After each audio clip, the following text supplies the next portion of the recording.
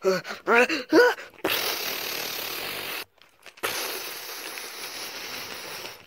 my family.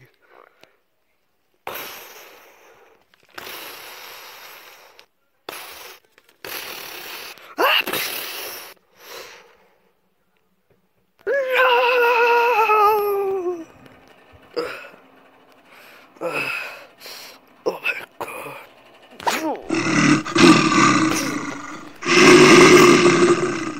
Wait, Dogger? Dogger, are you okay? Yes, I'm fine.